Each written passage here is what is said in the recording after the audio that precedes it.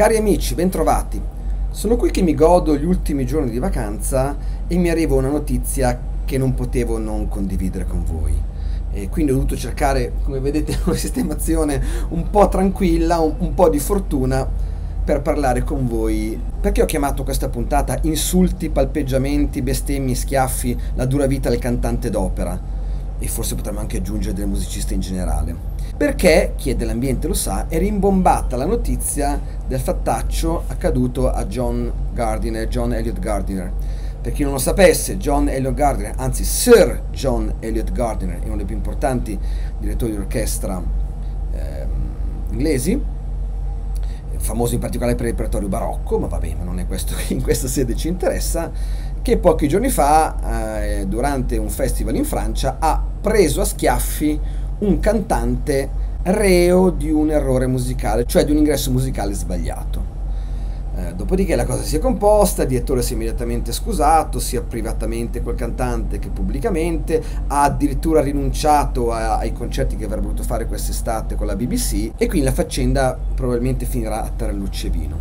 Ve ne parlo però perché se questo stesso episodio fosse successo cento anni fa, Oggi ne parleremmo con, come di un aneddoto divertente e magari anche rivelatore della forte personalità del direttore e del suo vulcanico carattere. Ora, disclaimer per le teste di marmo. È ovvio che non si può mettere le mani su nessuno, neanche se è un tenore. In questo caso poi era un basso, quindi a maggior ragione.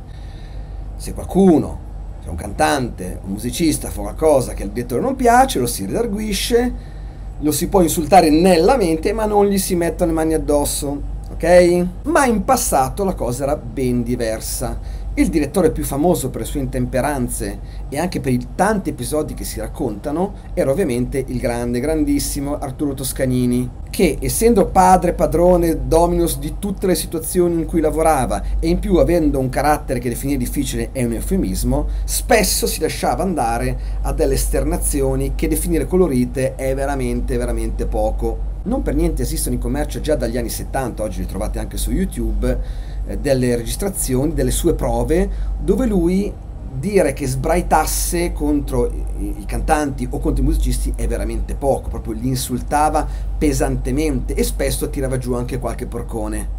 Ma gli insulti erano talmente pesanti che il mio dubbio è che, essendo fatti alla NBC, fondamentalmente non venissero del tutto compresi, anzi mi auguro che non venissero del tutto compresi dai musicisti americani che sicuramente capivano che il maestro era arrabbiato, ma per loro fortuna non capivano bene nel dettaglio tutto quello che gli stava dicendo.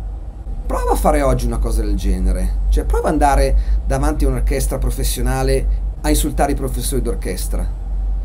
Innanzitutto devi essere Toscanini per farlo, ma poi anche se sei Toscanini non te lo fanno fare. Alla seconda intemperanza arriva il delegato sindacale, ti batte sulla spalla e dice maestro, basta perché altrimenti qui finisce male. E a proposito di bestemmie era famoso un direttore che è scomparso un paio di anni fa che forse perché era toscano aveva un po' la bestemmia facile. E di aneddoti sul suo conto se ne raccontano tanti. Uno dei più noti è che durante la prova con una famosa orchestra di Milano, lui più di una volta avesse nominato il nome di Dio in vano.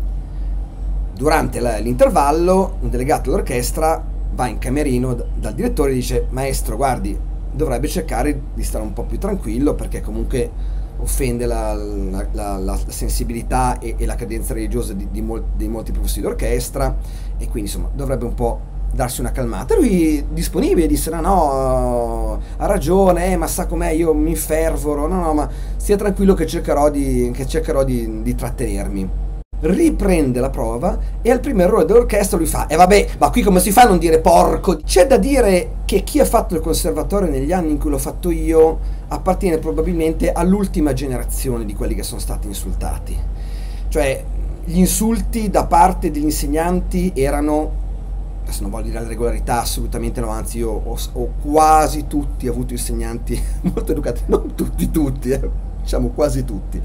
Eh, però voglio dire, ho assistito a tanti episodi in cui gli insegnanti hanno vera- veramente pesantemente apostrofato gli alunni. Questa cosa però si porta, se vogliamo, fino ai giorni nostri, soprattutto con i direttori magari un po' più anziani. È nota, pochi anni fa, la polemica che c'è stata con Barenboim a Dresda, orchestra nella quale è una delle migliori orchestre del mondo, tra l'altro, in cui praticamente i professori d'orchestra siano lamentati per gli atteggiamenti da, virgolettato, bullo e gli atteggiamenti dittatoriali di Barenboim.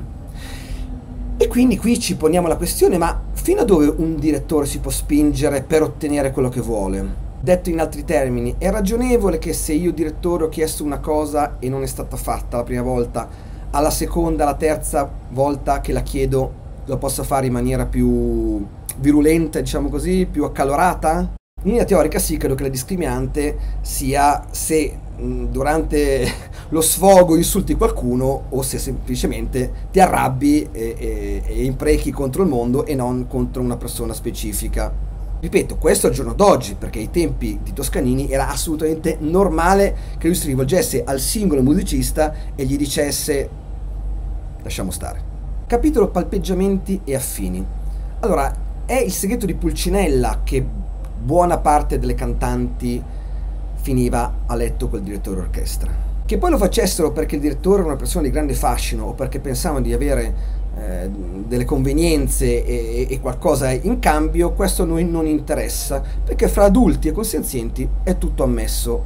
Ma il punto non è questo, il punto è il direttore approfittava della sua posizione dominante? O meglio ancora, il direttore oggi come oggi approfitta della sua posizione dominante?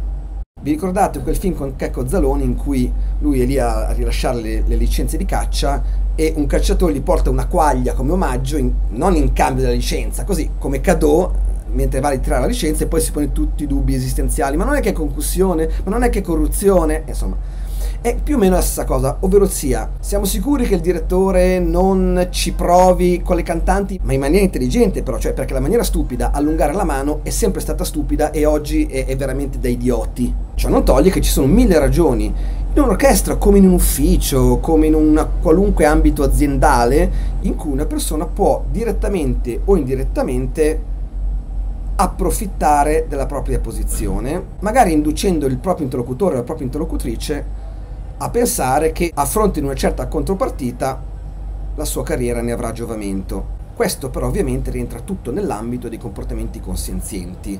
Allora, chiarisco subito, non ci penso neanche a infilarmi nel, nel cul-de-sac del MeToo. Ma è cosa nota alle cronache che diversi direttori hanno avuto delle denunce. Denunce che spaziano, qualcuna per qualche apprezzamento fuori luogo, per un commento un po' sessista, qualcun'altra più grave per molestie sessuali vere e proprie, fino ad arrivare alla peggiore di tutte, riferita a una pratica che non posso dire perché altrimenti rischio che l'algoritmo di YouTube mi blocchi, ma che diciamo che quando questi comportamenti di cui abbiamo parlato prima sono rivolti nei confronti di individui decisamente di età bassa. Concludendo, è indubbio che l'ambiente della musica mediamente sia abbastanza androcentrico, però credo che la nostra società stia affrontando comunque un grosso cambiamento anche culturale nei confronti di certi atteggiamenti che ci sono sempre stati e probabilmente sono sempre passati sotto silenzio. Non voglio ovviamente illudermi e pensare che questi atteggiamenti scompariranno, ma io credo che